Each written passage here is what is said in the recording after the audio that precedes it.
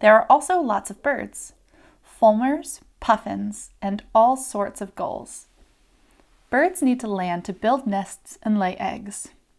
Around the frozen sea we call the North Pole, there is land Lapland, Siberia, and Greenland. It's often very cold there too. Did you know it almost never snows at the poles?